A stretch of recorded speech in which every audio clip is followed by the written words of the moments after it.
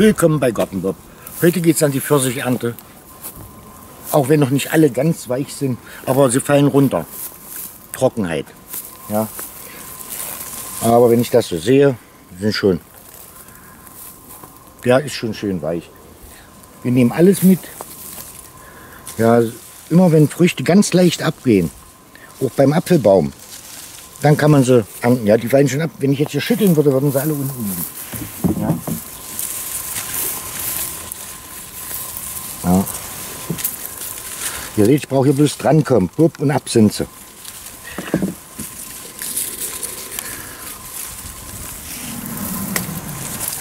Natürlich kann man alles, was hier so dran ist, die kann man nicht alle lagern, um die aufzuessen.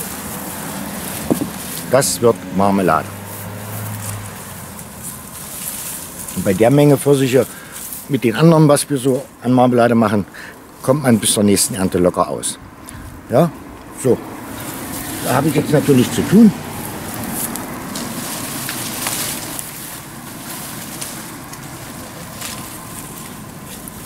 Und hätte der Baum jetzt, äh, wäre hier nicht so viel Trockenheit im Boden, dann würden, hätte der mehr Kraft und dann würden auch die Äste nicht ganz so weit auf dem Boden hängen.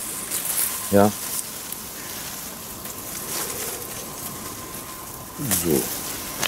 Man füllt sich Stück für Stück wird meine Kiste mal voller.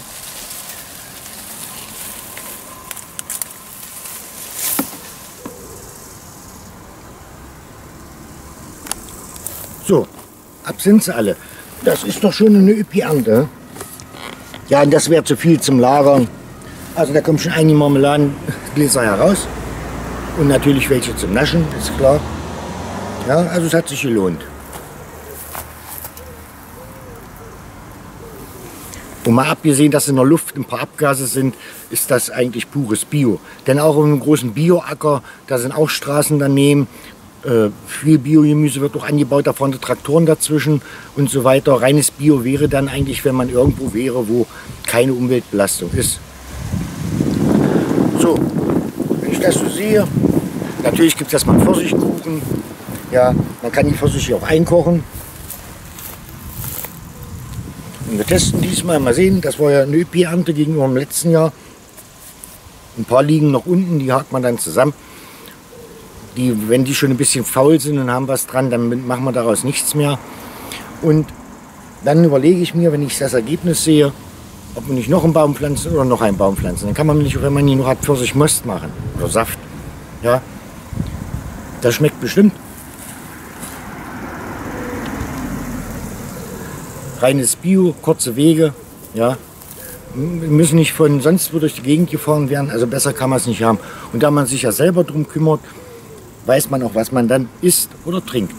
So, das erste kommt natürlich, ja, jetzt nicht, jetzt der Planet drückt also unsere Sonne, die meint es wieder gut heute, da backe ich noch keinen Kuchen, sonst wird es zu warm. Aber wenn es heute Abend oder morgen früh kalt ist, dann wird es noch Kuchen. Ja, ein ganz normaler Teigboden, Pfirsichkuchen drauf, bisschen Gelatine, also ja. Und dann, wer will, kann ja noch Sahne drauf streuseln. Und, aber wir haben äh, in unserem Gartenkochbuch sind einige Backrezepte drin. Könnt ihr ja mal hingucken. Da sind nicht nur Backrezepte drin, da sind noch Kochrezepte drin. Und das meiste, was ich da zeige, das ist, ist unsere heimische Produktion. Da sind noch Filme mit dabei.